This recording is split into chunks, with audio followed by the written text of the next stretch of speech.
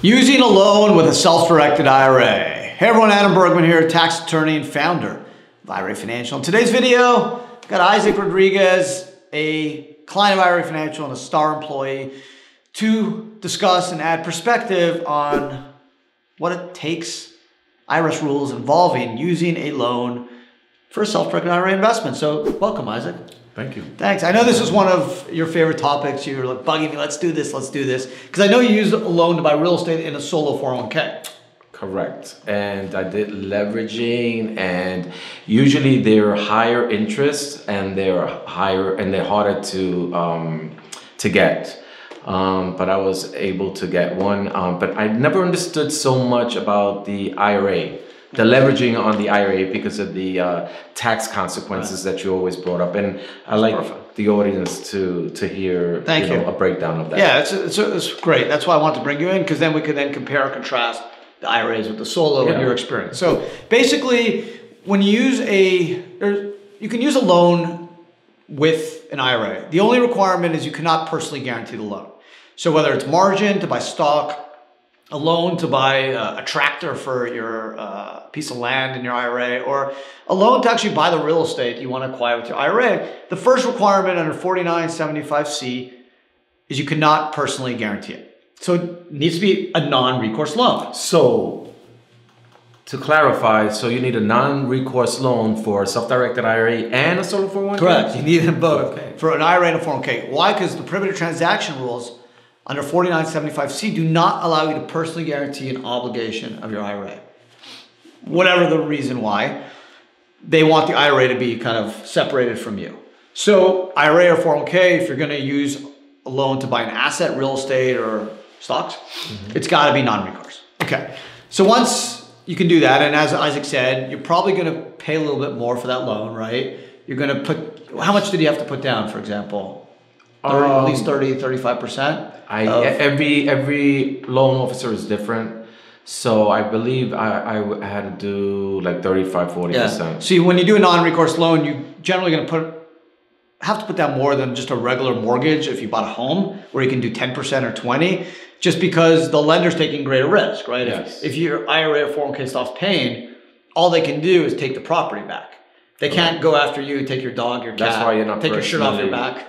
exactly. So that's why it's priced, and you're going to pay a bit higher interest. You're going to pay a couple points. Yes. Um, for for that responsibility. It depends on the bank. I mean, you would have to like really research, get some, you know, get some brokers to to to. Re- Did you, you know, use any of our contacts? I, I forget because we have a number of non-recourse lenders. I don't. Recall. No, I didn't. You went on your own. I went on. My own. Okay, so that's fine. Like you can use traditional banks you can also, we have a number of non-recourse lenders that we work with right. for IRAs, 401ks. Who, all they do is specialize in non-recourse leverage right. for basically retirement accounts. Okay, so that's the first requirement. You can't personally guarantee it. The second requirement is, well, the second thing to understand is UBIT. And unrelated business income tax, unrelated business taxable income. It's an acronym. You can use it either way. It's an ugly four-letter word.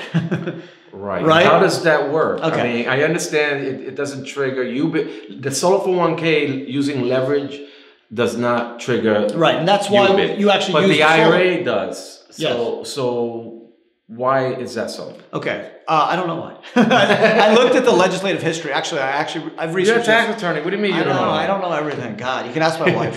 um, actually, there's some language in the legislative history dating back to like 19 early 80s and I honestly, I think the reason is they wanted 401ks pension plans to have more flexibility investing than us, than regular. Folks. Or maybe, or maybe help the small business. I don't know because, because it's self-employed. You know, you, you, you remember think, the solo 401k. You, you have to be self-employed. Right. Um, you could be right, Isaac. I mean, just from what I read, it seems like they, they're more focused on like the CalPERS, the big, big pension plans, having the ability to invest in real estate than you and me. Personally, maybe you're right. Maybe it's because they want to give small businesses an advantage. I don't know. I just, if I had to kind of think about this as a government official, I just think the lobbyists for you know big pension plans probably have more weight than you and me. But whatever the reason is, there is a special rule under Section 514C9 where a solo 401k can take a non-recourse loan to acquire real estate, not acquire stocks, not acquire a tractor, but to acquire real estate without paying UBIT. And that's why you jumped into the solo, right? That's the main reason. Um, no, no. The, the, main reason I jumped into the solo 401k, you mean as a client? Yeah. From just, a, from from yeah, well, from an IRA client to a solo 401k client is because I I I'm, I'm self-employed also. Right. So it's a, and it's a better plan. The solo 401k is a better plan. Yes. yes. Um, for many reasons. Higher contributions, a loan option. That's another video. Right. We'll do more. Of it. Okay. gotcha. But, but, but, it's a better plan. Yeah. Um, and but you have to qualify.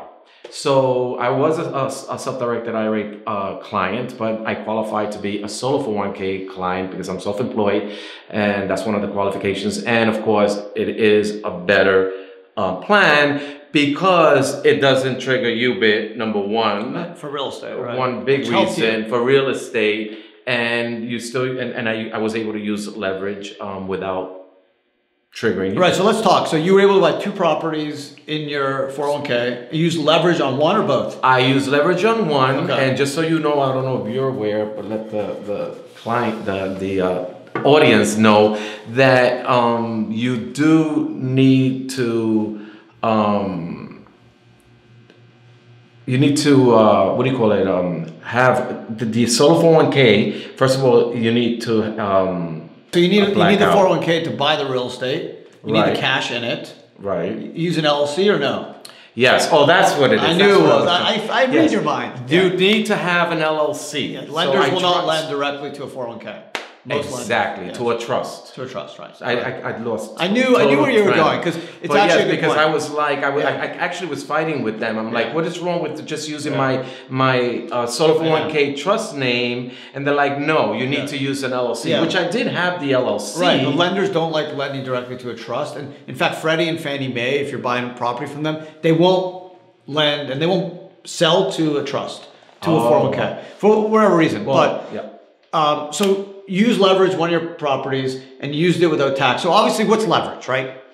You don't have to be a brilliant real estate developer to know that if you borrow money, you'll have more spending capacity, right? If you have 100K in your 401k and you have to pay cash, all you'd be able to do is buy a property for 100K.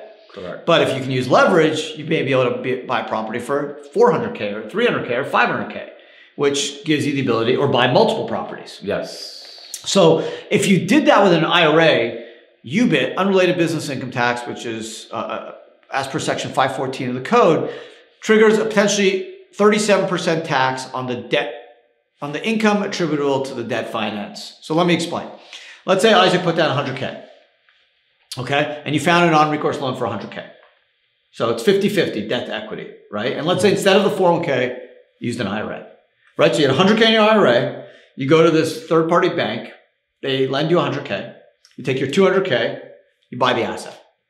And let's say you rent it out and you generate 20K net net after depreciation, after expenses. You, you got a really good tenant paying you a lot for rent and it's a great deal. Under the UBIT rules, because you use 50% debt, 50% of that $20,000 in net income, 10K in our example, is subject to this tax, which could go as high as 37% at a low, low threshold, around 14,500 bucks. So by doing your deal in a 401k instead of an IRA, you save the tax on any net income. Now, some folks don't care because they're like, listen, real estate, I'm gonna have tons of depreciation, tons of expenses. I'm not gonna have net net profits for a while. Then UBIT doesn't taste as bad. The only thing to remember is that if you sell the asset while the loan is still outstanding, you got to pay UBIT on the gains, which isn't great because when you sell the asset. Right, that's not cool. Like who wants to pay UBIT on the gains? So even if you net out your net income on an annual basis where it's super low, under a thousand bucks, there's no UBIT. Let's say someone comes along and is like, hey, Isaac, I want to buy a property for 500K, 200K gain. You may have to pay a $100,000. Uh, the 100,000, 50% of that gain in our example could be subject to this UBIT tax of potentially 37% tax, which is not great. Not great. So using the 401k is a monster advantage. The UBIT is an ugly four letter word. Again, it applies, you need at least $1,000 in net income, whether you're using a loan to buy stocks, real estate, uh, tractor trailer, a car, whatever it is. But using the advantage of the solo K under 514C9, the code is a monster, monster advantage that lets you use non-recourse loan to acquire real estate without paying the UBIT tax. Which now, like if you, someone came along and bought your asset, bang, it's tax-free into your pocket, into your 401k. It's huge. So you set up the solo K, you didn't but not realize. everyone qualifies for right. You need you need to have a business, and you cannot have any full-time employee employees non owners that work more than a thousand hours. So actually, we're going to do the next video. We're going to do. But if it works out do, for you, I think you know to pay the UBIT on on on the property that you purchase. It may work for you. Everyone is different. Right. It still could work the numbers. Bracket is different. And, the, the net income thing, like a lot of good real estate developers don't care because there's not a lot of net income. Because they'll they'll use depreciation, they'll accelerate it, and the IRS lets you take into account expenses and depreciation to reduce the income. And, and in fact, if you have losses, you can use those going forward to offset gains.